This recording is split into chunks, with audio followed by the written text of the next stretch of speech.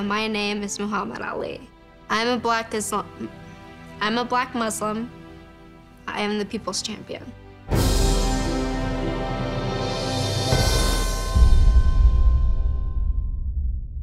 Hello! I'm Carl Tart, and we're about to talk about the first black player to integrate Major League Baseball. Oh, Jackie Robinson. No! Moses Fleetwood Walker. It's 1882. Moses Fleetwood Walker is a student at Oberlin College. And he's like, I'm studying law, I'm reading all these books. This is wrong. This is good. This is bad. This is hell yeah. This is hell no. But something's tearing at my heart. I gotta play baseball. I'm leaving college to do this, so it better be a good idea. So he dips. He joins the minor league team, Toledo Blue Stockings. So Fleet is playing catcher, but at this point, catchers weren't playing with mitts. He's playing with his bare hand. That shit is some extra shit. He's killing it though. So, it's May 1st, 1884, and it's opening day. The Toledo Blue Stockings get invited to the newly formed American League. They were like, congratulations, white dudes and Moses. Welcome to Major League Baseball. Moses is like, I'm about to be the first black dude to ever play in Major League Baseball. This is what I wanted to do. This is why I left all, all law school, and nobody can tell me different. I'm about to go out here and swing these bats, catch these balls, hit these balls, swing these bats.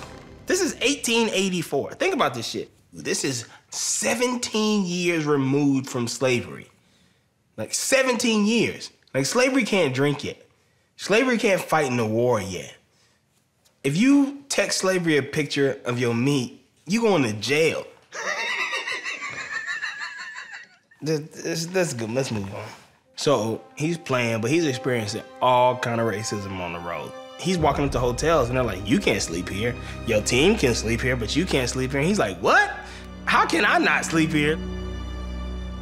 Like, he's sleeping on park benches as a major league baseball player. Fans were terrible. And they're like, hold up. We didn't come to see no black people on this field. We came to see our thoroughbred whites. And then they get to Richmond, Virginia. The manager of the Toledo Blue Stockings gets a letter. And so he runs to Fleet's room, which Fleet's room is the park bench across the street. and then he gets over there, he kicks the bench a couple times, shakes it. Fleet, wake up, Fleet. Huh, huh, what? And he goes, man, you can't play the game tomorrow. I just got a letter. 75 dudes are gonna be outside waiting to beat your ass. You gotta not play tomorrow. Moses was like, I ain't taking no risks. If it is flake, I ain't, I ain't fake flake. If it is frosted flakes. oh my God. Now I'm drunk, and this is supposed to be your show. Now. so he doesn't play that game. He just sits out. So then they go to play against the Chicago White Stockings. Their manager, his name is Cap Anson. And Cap Anson is like, y'all jerseys is clean, and his jersey is clean, but his face is black. I'm not playing with him. And so manager from the Blue Stockings, Toledo, goes over to Cap and is like, yo, Cap, we have to play. Either you gonna take this L or we gonna play. And Cap was like, ah, I don't wanna lose. All right, fine. I'll play against Black Dude this time, but I'll be back. And so manager of the Blue Stockings goes back over to Fleet and he's like, Fleet, I know you're resting today, though you gotta play. He's like, what? Look at my hands. My hands is the size of a donut factory. and he's like, you need to play because they said they weren't gonna play you because you're black. He's like, what? Hold up. well, I'm about to play today. They must have thought wrong because I'm about to be on that field today. My name is Fleet, and I'm about to be on my feet and bending my knees because I'm a catcher. so, oh shit. Well, we right, got it. we do we it. good. And to make things worse, he's got a pitcher named Tony Mullane. He's like, I'm not even pitching real to this dude. I'm pitching what I want to pitch. Fleet calls slider, he throws a curve. Fleet calls curve, he throws a knuckle slide. But Fleet was so good that he had the media on his nuts. The Toledo Blade was like, Fleet is the most valuable player at catcher, at bat, than any other player. This is crazy that they're saying this about a black dude who's playing in Major League Baseball. We should not have no black people on this team. I don't want to play with him. Mullane has the chance there to be the white savior from every movie about racism. Yeah, the white savior. But this ain't a movie. This is real life. So, it's ni- 1987. No, it's not. It's 1887. And once again, he gets to Chicago, and his old friend there is waiting to greet him. And Cap was like, Well, now I got a whole group of people who don't with you, and they kick him out of the game. Major League Baseball said black people ain't finna play in this shit for a long ass time. So after that, he's like, the racism shit is too hard. I'm going back to studying and inventing shit. So basically, when Fleet left the game, that band lasted for 63 years until Jackie Robinson gets put in the pros. What would you say the moral of this story is? If you think you got a hero, research that hero and know who came before that hero and paved the way for that hero. That was all great. Can we just do it one more time with your eyes open?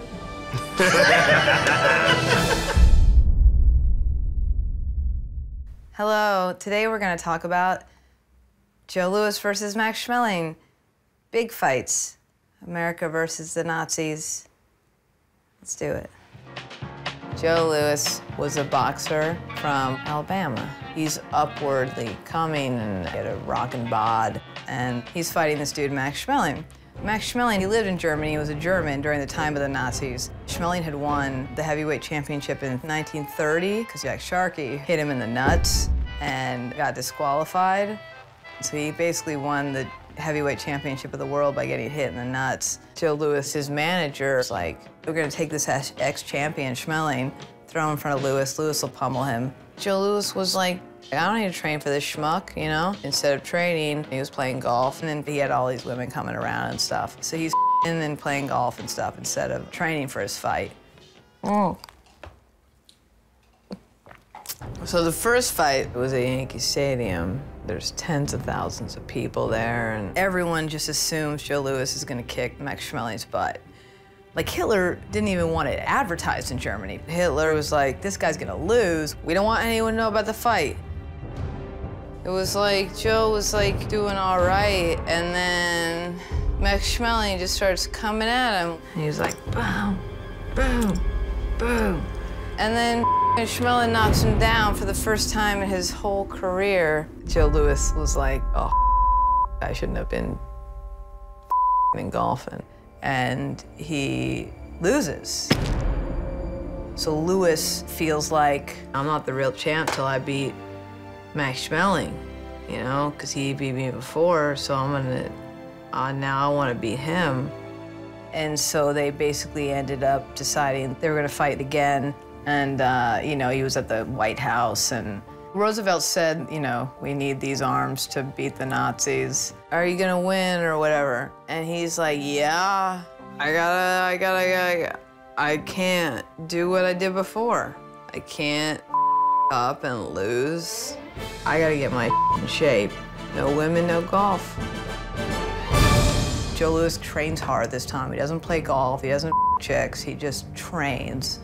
And the second fight was at Yankee Stadium. A Hitler like was like suddenly Mr. Cool. Like, all right, we're gonna win. Let's do this. Tell everybody. Let's party. Let's watch the fight. Everybody, you can be out till 3 a.m. All the bars have to have booze so you can celebrate. And also, we will use the prize money to build tanks because he thought he was gonna win.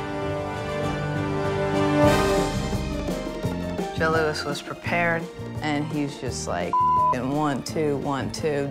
And Hitler's like, uh-oh, spaghetti-o. Don't let anybody hear this. Pull the plug. They like pulled it from German radio because they knew it was gonna happen. Like, never mind, don't worry about it.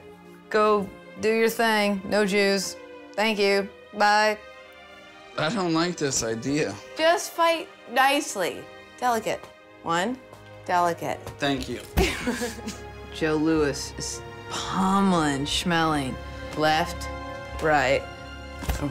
All right.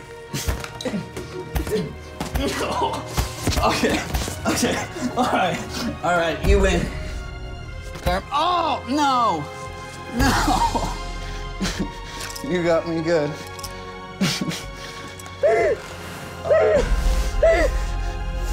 the greatest fight of all time. Then the ref said, it's over. And Joe Louis won.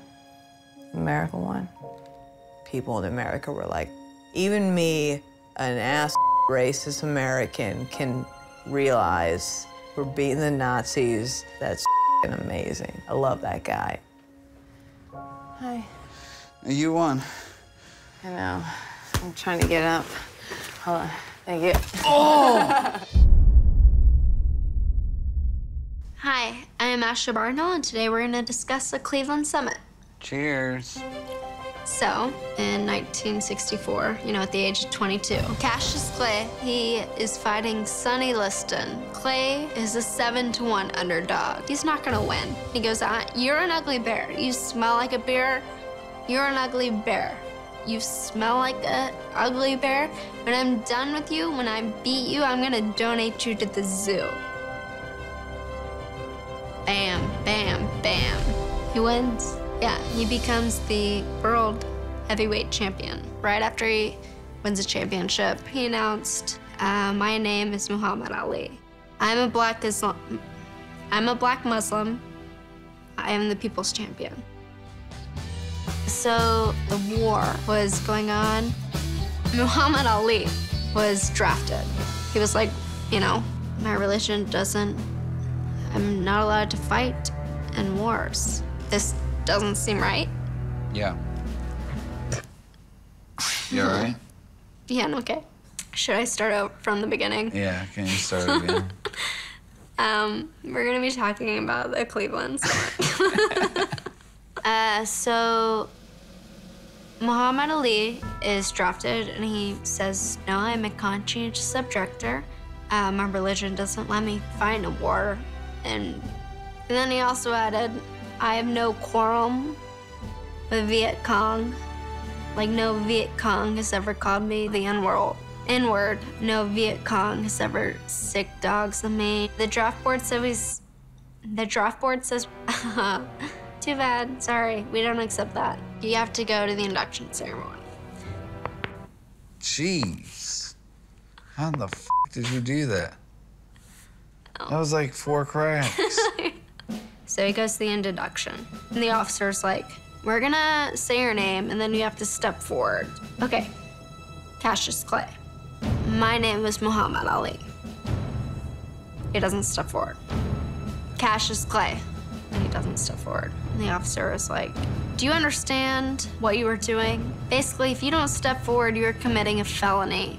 You can serve five years in prison. Thank you. I know what I'm doing. Cassius Clay. He doesn't step forward. That day, he's stripped of his medals, his boxing title, his boxing license, and his title. Okay, people in America were like, uh, this is bullshit. Like, this guy's just trying to getting, this guy's just trying to get out of going to the war. Uh, Muhammad Ali's manager calls football legend Jim Brown, and it's like, can you talk to him? Can you convince him to go to the army? And can you not tell him I told you this? Or anyone I told you this? Uh, can you keep your mouth shut? Can you keep your mouth shut? Don't tell anyone I ever told you this. Uh, hi. Jim Brown is very shocked. He goes, This is shocking. This is a shocker. Jim Brown calls Joe Wooten. He goes, uh, Can you gather 10 of the most prominent top black athletes and meet me in Cleveland? Yeah, on it. Everyone's just like, Yeah, see you there. Got it. Be there. We're talking Ali. He's my hero. Okay. So basically, they're all like, We have all served.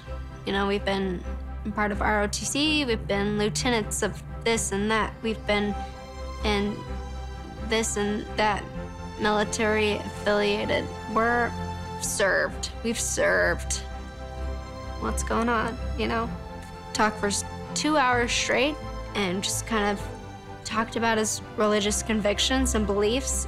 I stand by my religion, Black Muslim religion, the Nation of Islam, which is basically I will not contribute to any war That's a good point. That's a good point. They face the media. Hi, media. Yeah, we thought this guy was full of shit. And this guy. Have you met Ali? This guy. We support Ali. Uh, we believe in him, and he's sincere, and we believe in, we validate his religious conviction. Ali was on trial, was presented in front of an all white jury, and within 21 minutes, they found him guilty. And he's sentenced to five years. So he appealed, and he appealed, and basically gets to the Supreme Court. So the Supreme Court is planning on ruling five to three against Ali. But then Justice John Harlan reads a book based on black Muslim religious doctrine. And he goes to all the justices and is like, You screwed up. This is me convincing you. I am convincing you. We screwed up. You screwed up. I screwed up. We have to change our opinion. Okay, you're right. And so they unanimously vote. Anonymous. Anonymously. I have a hard word sober, by the And way. honest. Anonymously. No, that's not the word. They anonymously, um,